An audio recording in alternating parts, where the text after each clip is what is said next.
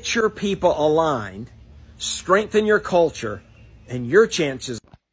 I think this is a really, really great point here. I'm actually in the middle of reading the book Fierce Conversations. And one of the things that the author talks about in Fierce Conversations is this volleyball notion of some people are on the red part of the volleyball, some people are on the green part of the volleyball, some people are on the white part of the volleyball. So envision a volleyball, different colors on it. Imagine that's like different departments within your organization all of us want to vie for things that we think are valuable to our own organization and so therefore or rather our own department and so we're going to pull for that.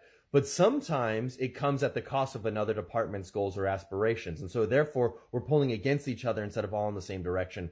It is so powerful and i think if, if we can get our team aligned and do whether that be quarterly rocks meetings meetings to get our, our vision aligned whatever it takes, the more alignment our organization has, the more likely our amp- our efforts will be amplified than detracting each other.